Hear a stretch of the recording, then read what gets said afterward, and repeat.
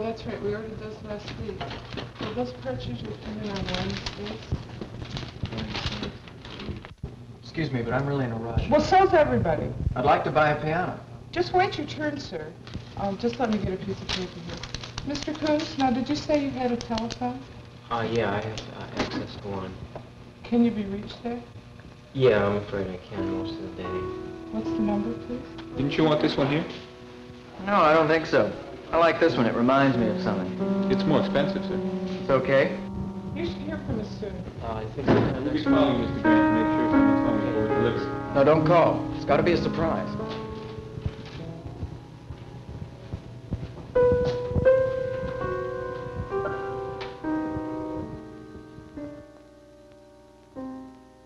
When I reread the things I've written her, it sounds like someone talking to himself. It occurs to me that even my memory is self-conscious. There must be a more positive way to remember things, even if the events themselves make me bristle. I want to recall exteriors, graffiti on the sides of school buses, misprints in the newspaper, the way a girl's shirt tail hangs down over her behind. It seems very important that I be able to remember the things that aren't around all the time, real colors and real conversations. What I've just read here are the things that never leave me, the colors of my own moods, my own endless dialogues. For example, a little girl in the park, she stopped me, she startled me. She asked me for money and I, I gave it to her. She was remarkable. But all that is recounted in these pages, the overwhelming silliness that I felt I had no reason to feel to begin with. My powers of observation are in there somewhere, going to waste. I know they're in there because I can see them. I've looked inside myself so many times. I'm going to stop going to the movies and start practicing more. Movies do that to you. They surround you with whatever it is you need to feel, and you feel it. You watch yourself up there. Movies go on inside you. Music is much tougher.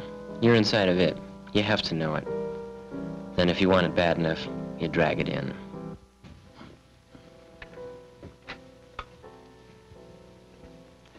WBJW-FM, good evening. Charlie. Oh, now look, you haven't stumped me for a long time. Go ahead. Uh-huh. The movie you're thinking about is Five Easy Pieces starring Jack Nicholson. Yeah. But now listen, Charlie, I got one for you. The actress that played Jack Nicholson's sister in that film, I, I can't remember her name. She, uh, she made her debut in a film made in 1955, and she played a hooker. Yeah, see if you can come up with that flick. Okay, Charlie. You think about it and call me back, all right? I'll be here. Okay. Goodbye.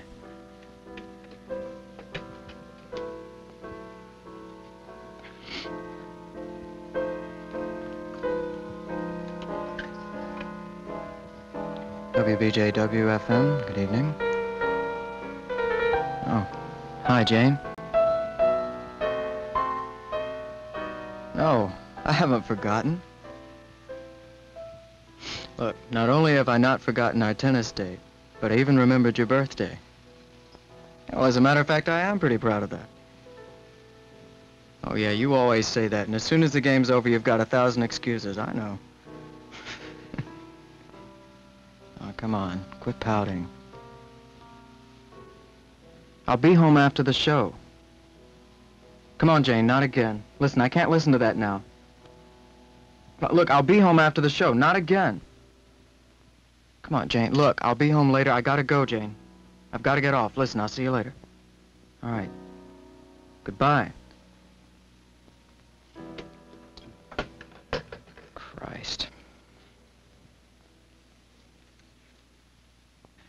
That was the Chopin Prelude in E minor, Opus 28, Glenn Gould, pianist, a Deutsche Grammophon stereo recording.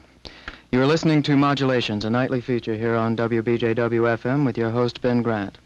We'll return to our program tonight featuring the music of Liszt and Chopin after the following commercial announcements.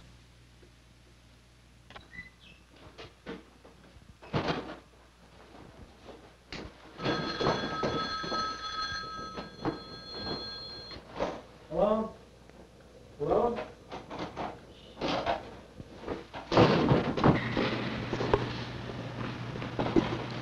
Happy birthday, honey. Now, what's that supposed to mean? Well, is it your birthday or isn't it? I mean, happy birthday is happy birthday, for Christ's sake. You want me to believe you let me win. Don't you? I can't believe it. I can't believe you, Ben. What is your problem? Jane, you go ahead and think whatever you want.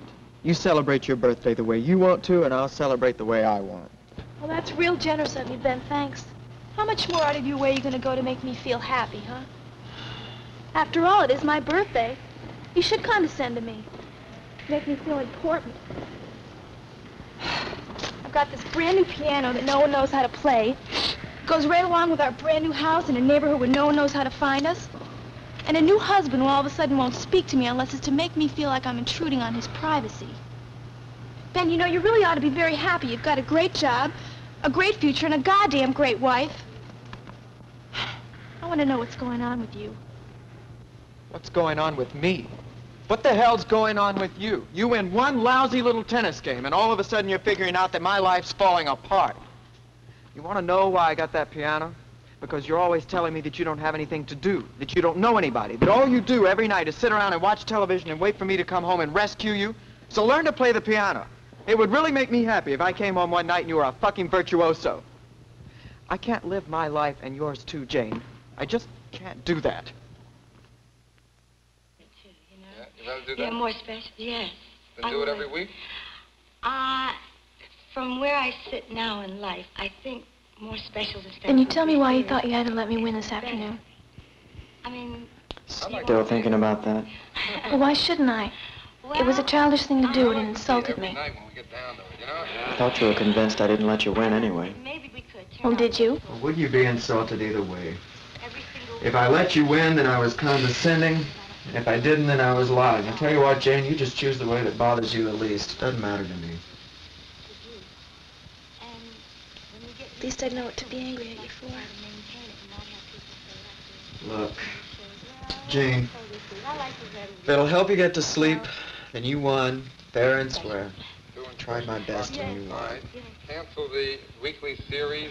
Let him. All right. She doesn't want to do it. No, you don't want to do it. Are you seeing someone? I know. It's double. Look at this. This I wish I had these in school. I would have had an excuse for failing.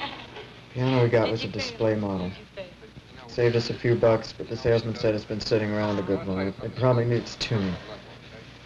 So, uh, look, I gotta go talk to Bernie in the morning. I want you to call the piano tuner, okay?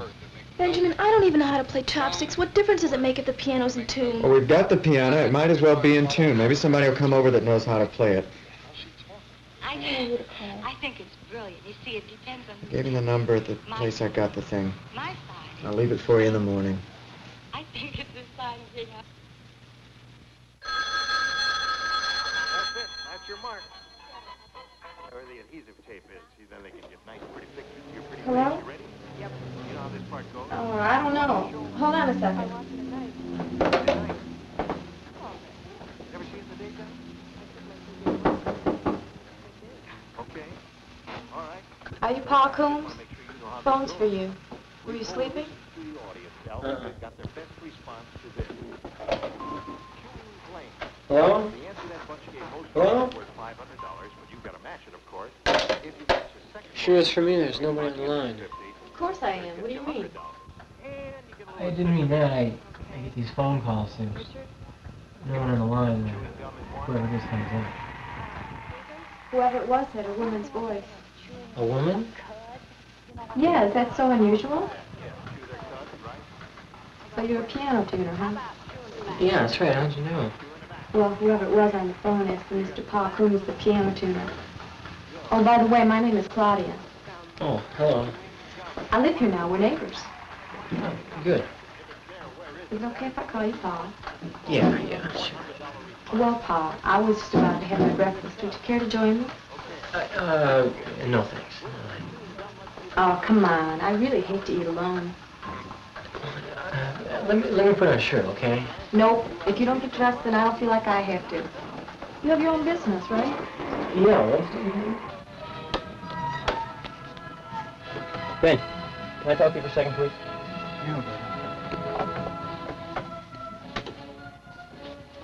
Down. I want you to know, Ben, in no uncertain terms, that things aren't as golden around here for you as you think. People are getting mad at you around here. And we all know your hotshot reputation. We all know the networks are after you and that you're on your way up. But nobody likes a prima donna, Ben, and you're really acting the part. Bernie, you're my boss, not my brother. You're not even my friend. Now, what is this horse shit? Are you gonna fire me because I got a swelled head? No, but let's say I'm giving you the benefit of the doubt and thinking it's the laurels you're resting on responsible for those 40 seconds of dead air on modulations last week. For your missing seven IDs in the last 10 days. For not cooperating with the sound engineer, the new guy. What's his name? Ben. He came to me with all sorts of complaints about you, Ben. You're talking right through the cues you gave him. You're screwing up into your commercial time. Simple little things, Ben, that you've known since you were a little kid. Since you've been doing them for years. You gotta take it easy on him, Ben. He's a new guy. He doesn't know your reputation yet. You done? No, not quite. I want to know what's bugging you. Come on, Ben, I'm not as hard a guy as you think I am. I can tell when somebody's got a bug up his ass. Ben, you're my best man. If you're having trouble, I want to know about it. Is Janie giving you a hard time? If you want some time off to fix it up, for Christ's sakes, ask her. Bernie, listen, I don't know what it is all of a sudden that's got everybody thinking my life is cockeyed. Janie wants to know if I'm having trouble at the station. If I'm not getting along with you, you want to know if I'm not getting along with Janie? You gave me fair warning. So it won't happen again. But look, Bernie, I want you to lay off with that other stuff. You want to know what's the matter with me? You want to know what's bothering me? What's bugging me is people trying to figure out what's bugging me. Now look, I want you to lay off. Just do me that favor, will you? Everything is peachy. So just lay off. And look, don't think that you're telling me something that I don't already know. Bernie, phone. Yeah, Yeah, hi, Charlie. What is it?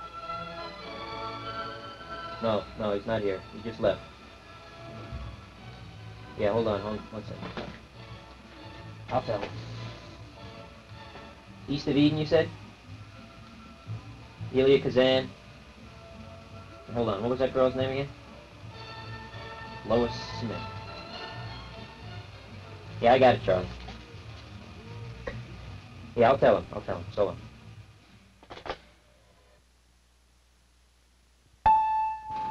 Coffee? Yeah, thanks. Your secretary's not very efficient. I don't have a secretary. Oh, then who answered the phone? Mostly I do it myself. Well, some girl answered the morning I called you. Oh, that uh, must be that girl down the hall. I don't have a phone. The uh, phone I use is uh, one that's down the hall there. Well, she's not very efficient. She hung up on me. Well, I don't know her too well, but uh, I think you got her out of bed. No, I uh, heard you humming a tune in the kitchen there a little while ago. I bet you could learn to play piano if you'd like. Oh, no, I couldn't. You don't know me. Let me see your hands. Why? Come here. Wiggle your fingers. Wiggle your fingers. What for? Well, your hands aren't a bit small. No, we'd both be too frustrated. Look, I, uh, let me put it this way. I, I never taught before. You've never learned. I, won't, I won't charge you anything. I think it'd be fun. What do you say?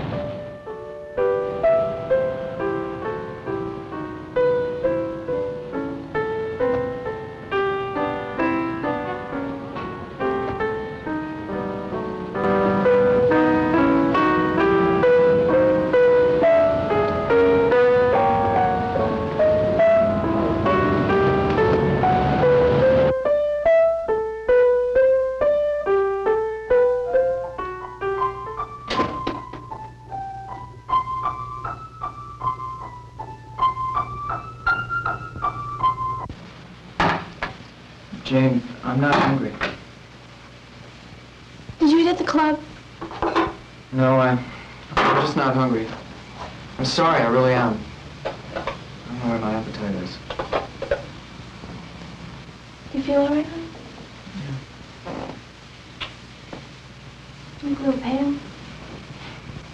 Want a drink? No, thanks. Come on, I'll make you feel better. I had another lesson with Paul today. He's really a marvelous teacher. He says I make him look good.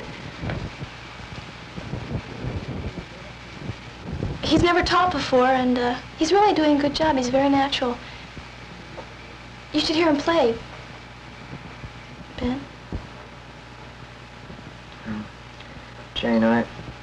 Sorry about dinner. I don't know where my mind is. It's all right. Dinner can wait. You, um, any good at that thing? Well, I'm no virtuoso. But Paul seems to think I'm doing all right. He says I'm very natural for a beginner. Very relaxed. You know, Ben, you really ought to meet him. He's a lot like you when you're on the air. I bet he's as stubborn as you are. The carpet was green. I remember that because the bed was only a mattress on the floor and we were so close to the carpet. The mattress was small, my head kept hanging over it. I found myself staring inside the green at the stale yellow of corn chip crumbs. I remember she was condescending. It never occurred to her, I don't think, that I might have known what I was doing. What never occurred to me was that she might ask me for money. I remember exactly what she said. She was lying on her back, smoking a cigarette with a smug look. And she said, you know, Paul, I don't think I can scrape up the rent this month. I don't have a job yet. It's due in a few days, isn't it?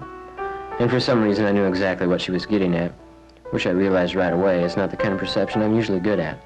But I said, Claudia, you could have just asked me for the money.